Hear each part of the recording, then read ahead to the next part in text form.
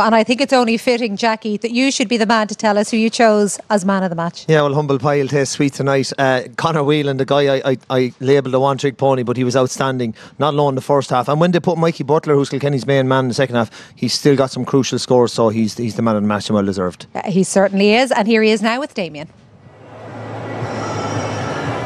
Conor, you are the Centra man of the match, and here with your presentation on behalf of Centra is Simon Monaghan. Let you do the honours. Um, Conor, there's no way of hiding away from it. That's heartbreaking. Yeah, look, at I suppose uh, the age old saying, the game's never over to the final whistle. Um, you know, obviously we had two or three chances to to clear it, and I suppose, look, that's the way it goes.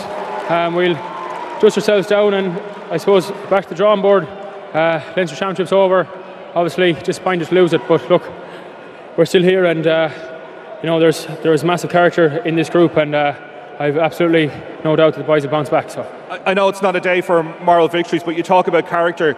You know, bounced back a couple of times in that game. Eight points down at one stage. Had to, I think, a run of one five or one six without replying the first half. Great character on, on days when maybe other teams' heads might have dropped.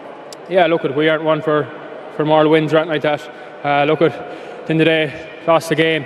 Look, we'll just ourselves down. Still here, um, quarter final in in two weeks' time. So look at uh, we'll we'll just back to the drawing board. Appreciate your time. Thank you very much for being with us. Oh, no surprise. He is in a very, very bad way there after it looked like they were going to finally get their hands on that cup, but instead, as you can see, it is own.